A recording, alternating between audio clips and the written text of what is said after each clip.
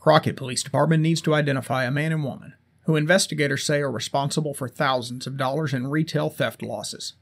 And Crime Stoppers has reward money available to encourage someone to put names to the faces. This video shows the thieves walking out of Walmart in Crockett with computers and computer equipment.